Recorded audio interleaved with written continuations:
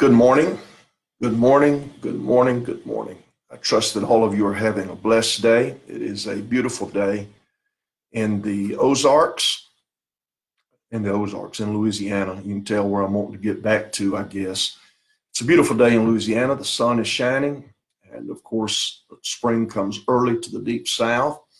Uh, it is a beautiful time. Very, very much appreciative of last night's service. Pastor Butler and Rachel did a great job leading us in praise and worship. Uh, we've had uh, a significant number of comments, and that will increase as, as we go forward. Uh, I've also benefited, and I think the work of God benefits as you have shared what is being taught in this living beyond your crisis uh, with others who are your friends and acquaintances and and uh, there's several ways that you can do that. You can hit the share button. You can also go into your messengers and you can send them a direct link uh, to the content, both what's being taught live and also what's archived there on Facebook. So uh, let's let's use everything in our power right now to be effective with evangelism. Okay, I'm I'm talking with uh, I'm talking with us about talking with you about salvation.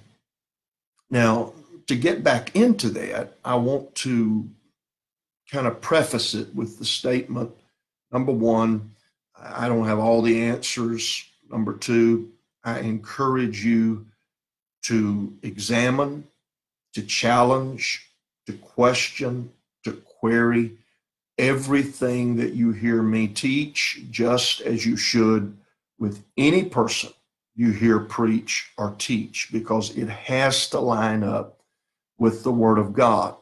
And if I were a false prophet, it's not printed across my forehead. Uh, it's the responsibility of the listener to determine what is false or what is true. And falsehood is not based on somebody being likable.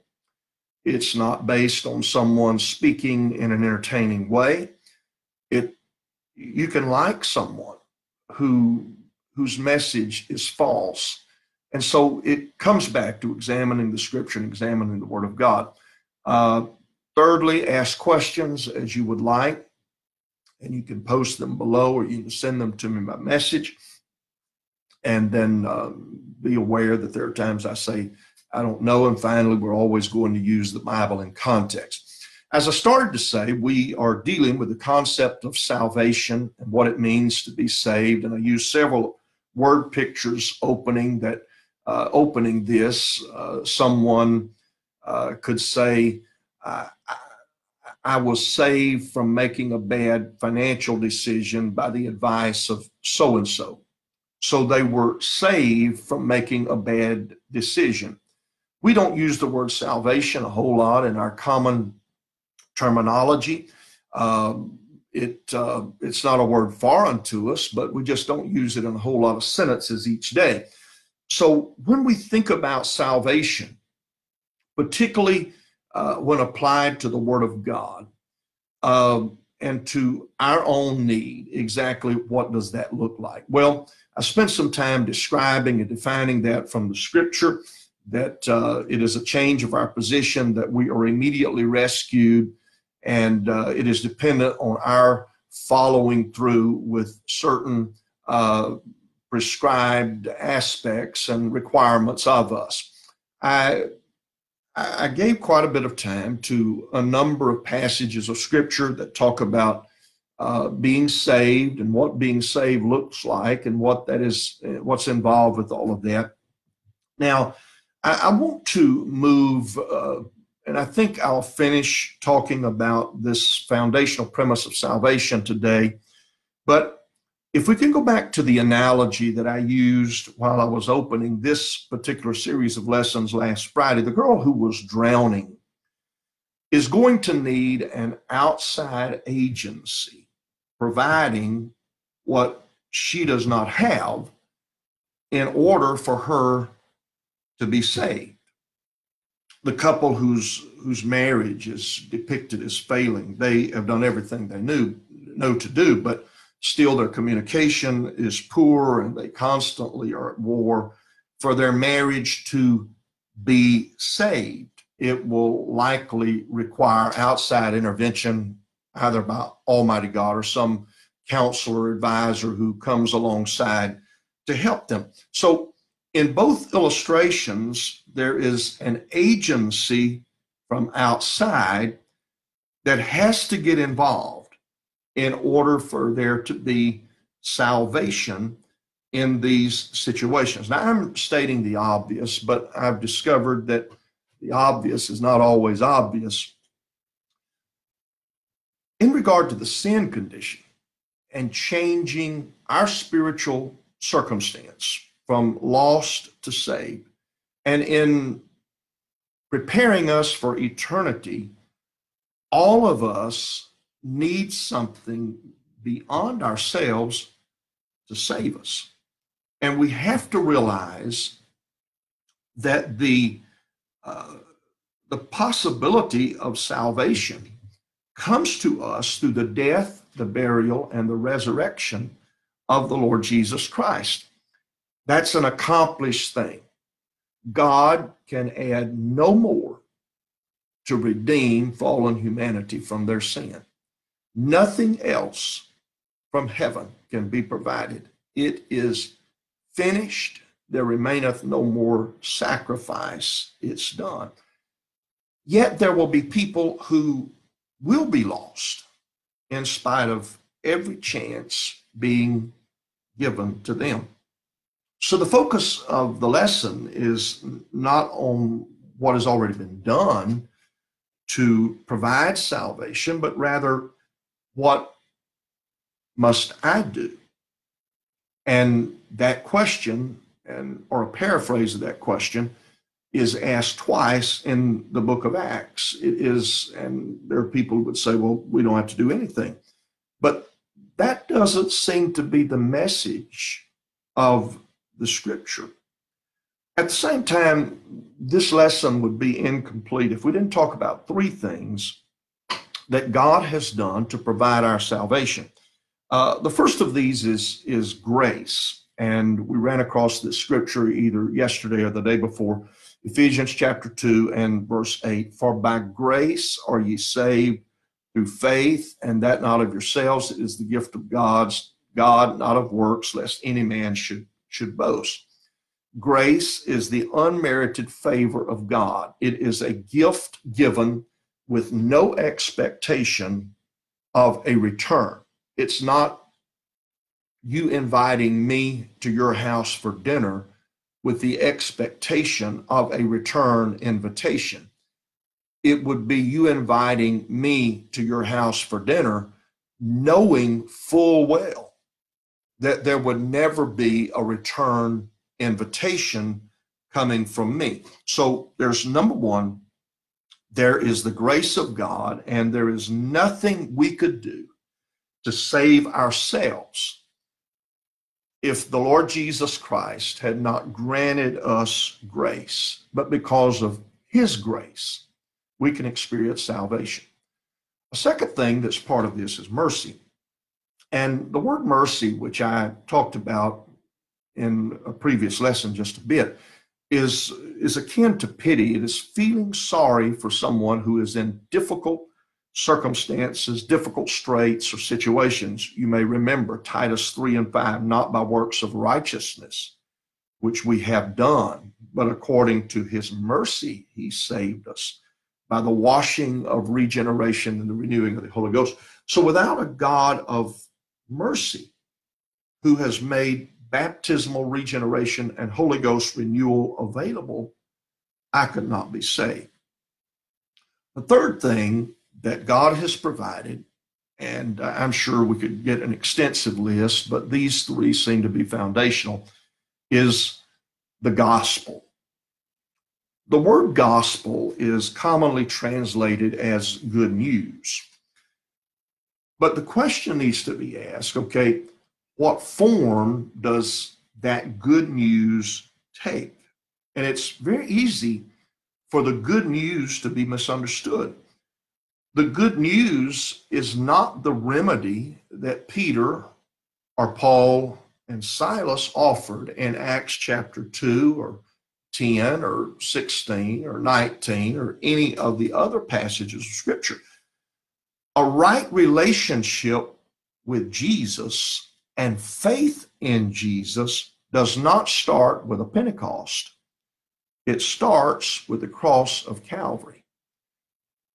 And in some instances, we have bypassed the cross and the resurrection to bring people to a Pentecost. And that's not the way the Bible shows it working. Peter gave the gospel message to the uncertain audience on the first day of the New Testament church. Paul and Silas shared the gospel with the Philippian jailer who was about to commit suicide. They, they had told him to believe, and in, in time, uh, he was going to be baptized. But uh, before any of that happens, they sit down with him and they share with him. And, the Bible is not clear what they said to him, but having read of Paul's experience and having read what he declares and expresses in the various uh, epistles, I have an idea that the communication to the Philippian jailer went something like this. Number one, all of us, including Paul, Silas, and the jailer, have a sin condition. That sin condition is universal. It brought home to him that he was a sinner. Secondly, they would have told him of the Messiah who had been promised to the Jews. Now, this man was not a Jew. He lived in a city that was quite distant from Jerusalem. It may well have been that he knew nothing about the promised Messiah, nothing about Jewish writings, nothing about what had been declared. So they take time, as I'm envisioning it, to tell of the Messiah who had been promised to the Jews, of God manifesting himself in flesh, of Christ, this Jewish Messiah, having, revived, having arrived, that his name was Jesus, and that the various qualities and benefits that the Messiah would bring were all accomplished in him. Okay, so now, he's now they've talked with him about the Messiah, the Christ, the promised one, that he has come to the Jews. Now they talk about the barrier being broken, that Christ, the Messiah, had not just come to the Jews, but that non Jews, just like him, just like the Philippian jailer, were included in all of the benefits that came as a result of the Messiah. They would talk to him about the Lord Jesus having been rejected by the Jewish religious and political leaders and it being coming so intense that that Jesus was crucified and buried in a borrowed tomb, but that marvelously, marvelously further validating that Jesus was the Messiah. Jesus was raised from the dead. In light of what that jailer had seen and experienced with prayer meeting and praise and worship and an earthquake. And then these fellows sticking around instead of running for their lives. He believed. He believed who Jesus was. He believed that Jesus was the Messiah. And he believed what Jesus could do and what Jesus could do for him. And he was baptized. So the Bible answer regarding the gospel is not in the man in time being instructed to be baptized. And we so often get this wrong. But the Bible answer regarding the gospel is given in 1 Corinthians 15 1 through 4, where Paul says to this uh, church of believers in the city of Corinth, and by the way, they were just extremely carnal. But he says to them, Moreover, brethren, I declare unto you the gospel, the gospel which I preached unto you, which also ye have received, and wherein ye stand, by which also ye are saved. Gospel, I said it, you heard it, you believed it. By the gospel, you are saved. He says, If you keep in memory what I preached unto you, unless ye have believed in vain, for I delivered unto you, first of all, that which I also received. What, what Paul's saying is, when I came to Corinth, this Greek city, when I came to you, my first message was to tell you the gospel of the death and the burial and the resurrection of Jesus Christ. It was also the first thing that he received how that Christ died for our sins according to the scriptures, and that he was buried, and that he rose again the third day according to the scriptures. The gospel death, the burial, and the resurrection of Jesus Christ. There is no Christianity, there is no salvation, there is no redemption if there's not a Calvary. We have to start there. Christ died for our sins. He was buried and he rose again the third day. And his resurrection opens up the way to both a resurrection from spiritual death. Remember, we who are now saved, we were dead in trespass and sin. For some of you who will listen, your spiritual condition right now is that you are dead in trespass and sin. It is through the gospel and the resurrection of Jesus Christ that we have the potential to have spiritual life in what is now an experience of spiritual death. And it also gives us the hope and the promise of eternal life. No wonder this is called good news because it comes home to each of us that this is what impacts us. So the story of salvation and the part about communicating salvation should put all of us to rejoicing about the possibility of our being saved. So now let's let's go back to the questions that were asked on the day of Pentecost and that the Philippian jailer and others have asked all through history. And if I can use the analogy of the drowning child one more time, how can she be saved? Well, it's going to take an outside agency. So the lifeguard has swam out to where the child is. In her panic, the child is fighting the waves and begins to fight him. And you have often read, as I have, that a drowning person puts themselves and the lifeguard at risk. And this is the case until they come to trust the one who has come to save them. To believe that this outside agency is not an additional part of the crisis, but instead that this outside agency, this lifeguard, can actually bring them to safety. They have to trust. Now, trust and faith are not exactly the same thing, but there's some parallel aspects to it. From the Bible, we learn that it is essential to believe God and His Word, or we will never take another step toward being saved. Faith is an absolute requirement in our coming to God. We need head knowledge, but head knowledge within us or nodding our head Jesus is the Messiah. Yes, yes, Jesus is the Messiah. And uh, all that the Messiah has, yes, yes, I, I see that. I agree with that. But all of our mental affirmation and all of our head nodding is not sufficient to save us from sin. And I, I realize that I'm going to borrow it a bit out of context, but if this were true, the demons would be saved. James 2:19. If you believe there's one God, you do well. Even the demons believe and tremble. The demons, like the one cast out of the girl in Philippi, They believe in one God. They believe in the death, burial, and resurrection of Jesus Christ. But their knowledge and their mental affirmation is not the same as having faith.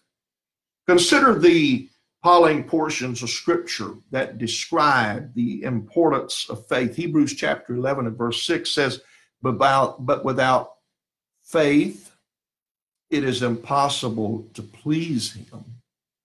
For he that cometh to God must believe that he is, and that he is a rewarder of them that diligently seek him. By the way, Hebrews chapter 11 is renowned as the faith chapter. And the scripture clearly teaches that none of us can be saved through our works.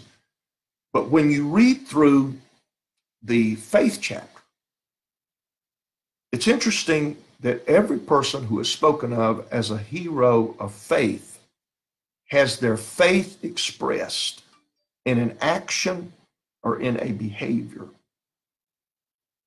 So faith is not some abstract thing. John 3:16, you know the story. God so loved the world that he gave his only begotten son that whosoever believeth in him should not perish but have everlasting life. What's the qualifier there? Whosoever believeth in him. There has to be faith. In First Corinthians chapter 1 and verse 21, Paul said it pleased God by the foolishness of preaching to save them that believe.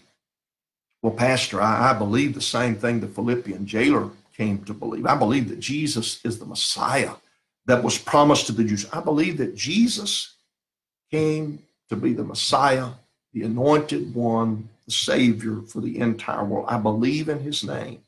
I believe that everything the Old Testament describes about what he will do and can do, that that is available to me. It's provided for me. I believe that Jesus was, was uh, crucified, that he was buried, that he rose again on the third day. I believe it's all done, finished. I'm saved. Well, that was, let me, let me pose a question. Was that the case in the behavior of the Philippian jailer or of Peter's first audience? They believed, but then those who were speaking to them took them beyond simply mental assent or even trust to specific behavior. And the first that is common, and we'll talk about this one extensively later, as really going to talk about all of these, but but repentance. Repentance is one of the foremost doctrines of the New Testament.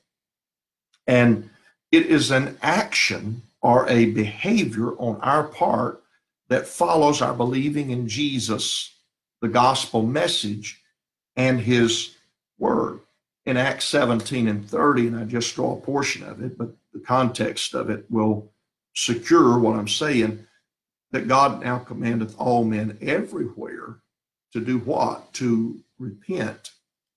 In Luke 24 and 47, as the disciples are being commissioned for their future tasks, is included that repentance and remission of sin should be preached in his name among all nations, beginning at Jerusalem. So, what is this business of repentance? Well, as I understand it, it was a Greek military term that reflected an about face. So you're marching that direction and you decide to make a U turn and walk in another direction. That's what repentance really looks like. That's what repentance is all about.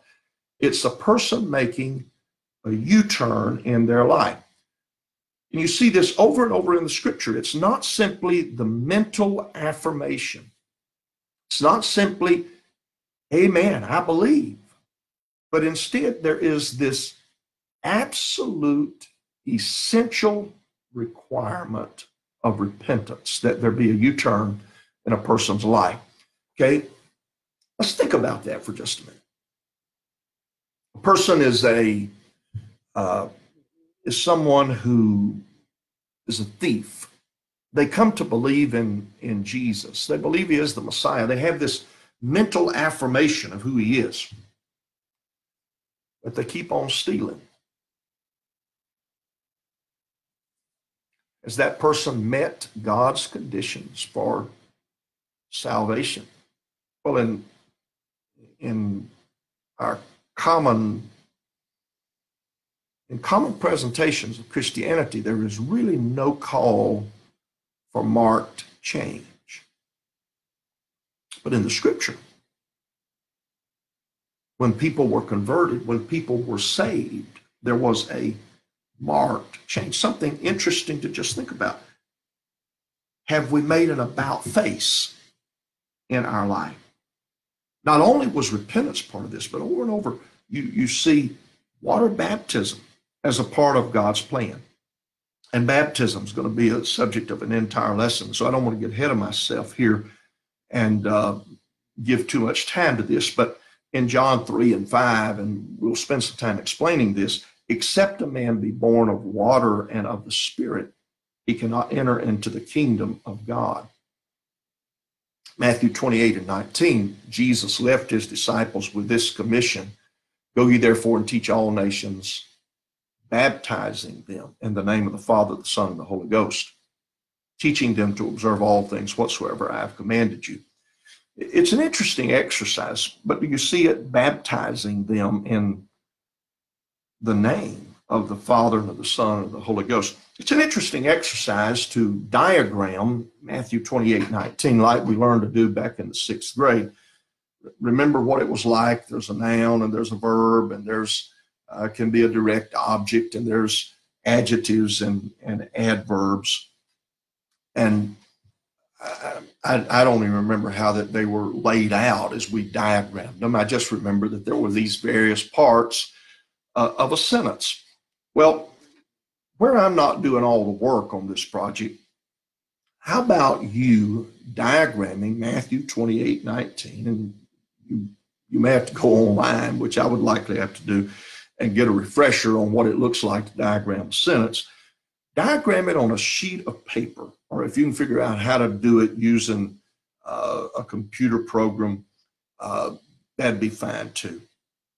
But whether it's on a sheet of paper or something you do on the computer, post what your diagram looks like below here. Or if Facebook does not let you do that, instead just send it as a guest post and it will be looked over and uh, of course will be will be posted. It's interesting. There, there's more. There's much more. We'll talk later about the Holy Spirit or Holy Ghost, which is a synonym for exactly the same thing. But I, but I need to, uh, I need to wrap this up today with just a few things. Questions: Do I accept fragments of truth, cherry picked to match a preconceived notion. Can I afford to do that on such a vital matter as salvation? We've spent several days on verses that reference being saved. And as I asked previously, do do you see anything in all of that which you just say, let's cut this part out? And if we ignore it, that's basically what we're doing. You may have read the account of Thomas Jefferson's Bible. Thomas Jefferson did not believe that God performed miracles.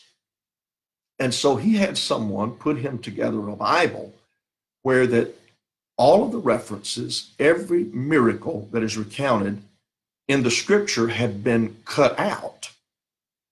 Thomas Jefferson's Bible because he did not accept it in its entirety he took the magic marker, so to speak, and he said, This part, this part, this part, I, I don't accept. This part is irrelevant. This part is unimportant. We dealt with a number of verses within their context. Can I dwell on mental assent and stop there and ignore everything that Jesus and his disciples would later say about repentance. Can I go to a water or swimming pool and, and be baptized, but skip repentance? Can I dwell on faith and ignore what Jesus said about baptism and what was carried out regarding baptism? Now, you have to study all of this. Uh, please don't be deceived by my teaching if it is extra biblical. Do the same for anyone else you listen to, even if you are in a place where you've been part of a tradition for, for decades, even. Examine the scripture, dig in, look for yourself. Don't be deceived by, by my teaching or that of anyone else. Question. Reconsider. Read your Bible. Obey what the Bible says.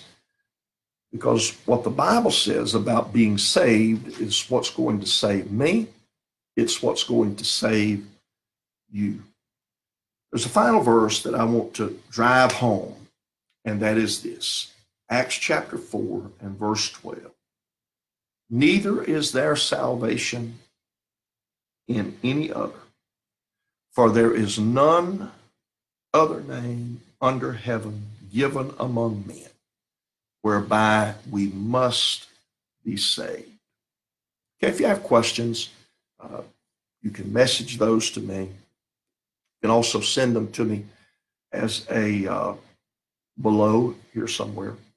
Or if you're interested in a personal Bible study, uh, likely by FaceTime or some other medium right now, since we're de- doing 30 days of kind of uh, being locked away from each other.